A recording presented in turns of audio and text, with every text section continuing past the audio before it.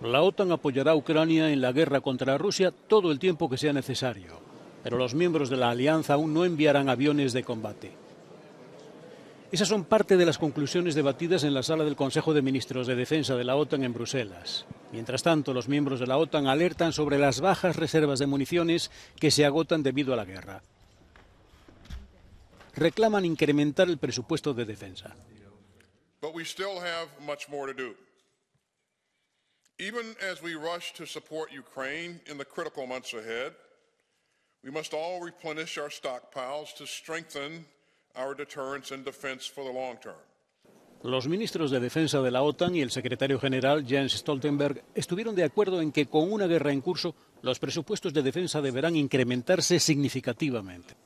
There is a full-fledged war going on uh, in, uh, in Ukraine, in, uh, in Europe, and then we see the persistent uh, threat of terrorism, and we see also the, the challenges that China is posing uh, to our uh, security.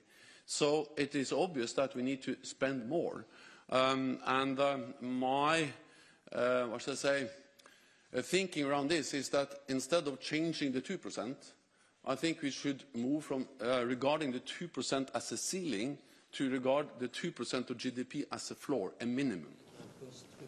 Los aliados de la OTAN acordaron en 2014, después de que Rusia se anexionó la península de Crimea de Ucrania, detener los recortes de gasto que habían realizado después de la Guerra Fría y pasar a gastar el 2% del PIB en sus presupuestos de defensa para 2024.